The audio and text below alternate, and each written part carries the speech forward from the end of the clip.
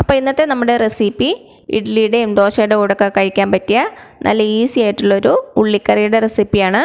ഇത് വളരെ ഈസിയാണ് ഉണ്ടാക്കാൻ സമയമൊന്നുമില്ലാത്ത ദിവസങ്ങളിൽ പെട്ടെന്ന് തന്നെ തയ്യാറാക്കാൻ പറ്റിയ കറിയാണിത്. അപ്പം നമുക്കിത് എങ്ങനെ ഉണ്ടാക്കുന്നതെന്ന് നോക്കിയാലോ. അപ്പം നമ്മുടെ ഉള്ളിക്കറി ഉണ്ടാക്കാൻ വേണ്ടിയിട്ട് ഞാനിവിടെ എടുത്തേക്കുന്നത് രണ്ട് സവാളയാണ്. രണ്ട് മീഡിയം സവാള. ഇത് ചെറുതായിട്ട് കനം കുറച്ച് അരിഞ്ഞു വെച്ചേക്കുവാണ്. ഇനി നമുക്ക് നന്നായിട്ടൊന്ന് വഴച്ചിയെടുക്കണം ഒരു പാത്രം ചൂടാക്കാൻ വയ്ക്കാം ഇപ്പം എന്താ ഞാനൊരു ചീനച്ചട്ടി വെച്ചിട്ടുണ്ട്. നമുക്കതിലേക്ക് വെളിച്ചെണ്ണ ഒഴിച്ചു കൊടുക്കാം. വെളിച്ചെണ്ണ യൂസ് ചെയ്യാനാണ് കൂടുതൽ ടേസ്റ്റ്.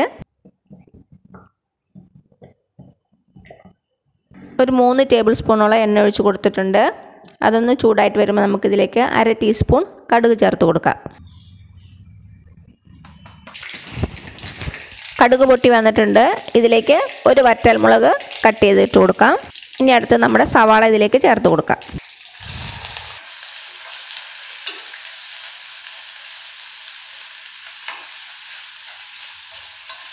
ഇതിലേക്ക് ഇനി ഒരു തണ്ട് കറിവേപ്പില ഇട്ട് കൊടുക്കുവാണ്. കുറച്ച് ഉപ്പും കൂടെ ചേർത്ത് കൊടുക്കാം. അപ്പോൾ പെട്ടെന്ന് വഴന്ന് കിട്ടും.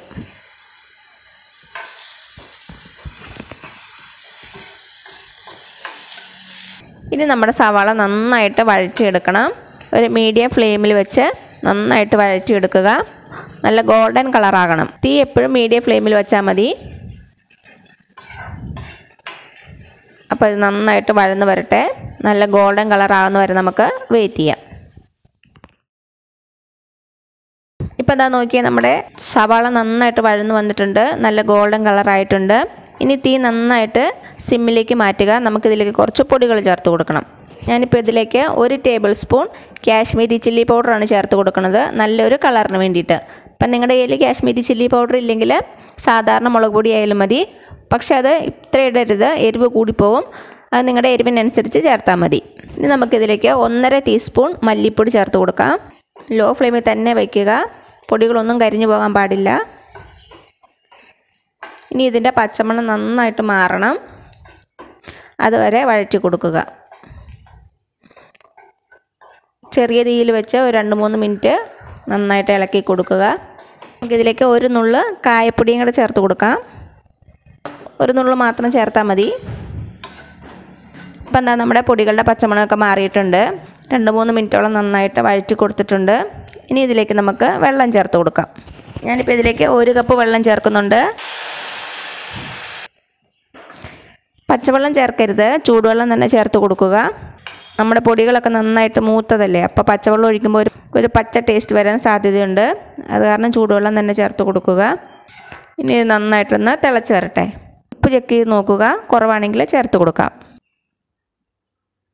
ഇനി ഇത് നമുക്ക് അടച്ച് വെച്ച് ഒരു പത്ത് മിനിറ്റോളം നന്നായിട്ട് തിളപ്പിക്കണം. ചെറിയ തീയിൽ വെച്ചാൽ മതി. ഇതിന്റെ എണ്ണയൊക്കെ ഒന്ന് നന്നായിട്ട് തെളിഞ്ഞു വരണം. അടച്ച് വെച്ച് കൊടുക്കാം. നമ്മുടെ ചാറൊക്കെ നന്നായിട്ടൊന്ന് തിക്കായിട്ട് വരട്ടെ. ഇടയ്ക്ക് തുറന്ന് ഇളക്കി കൊടുക്കാം.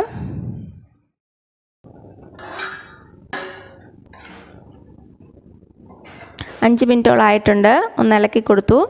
ഇനി അഞ്ച് മിനിറ്റോളം നമുക്ക് അടച്ചു വെച്ച് കൊടുക്കാം. അപ്പോൾ അതാ നമ്മുടെ ഉള്ളിക്കറി അടച്ചു വെച്ചിട്ട് ഒരു പത്ത് മിനിറ്റോളം ആയിട്ടുണ്ട്. ഇതാ എണ്ണയൊക്കെ നന്നായിട്ട് തെളിഞ്ഞ് വന്നിട്ടുണ്ട്. നന്നായിട്ട് തിക്കായിട്ട് വന്നിട്ടുണ്ട്. അപ്പം നിങ്ങൾക്ക് കൂടുതൽ ചാറ് വേണമെങ്കിൽ കുറച്ച് കൂടുതൽ വെള്ളം ഒഴിച്ച് കൊടുക്കാം. ഞാൻ പക്ഷേ ഈ ഒരു പരുവത്തിലാണ് എടുക്കുന്നത്.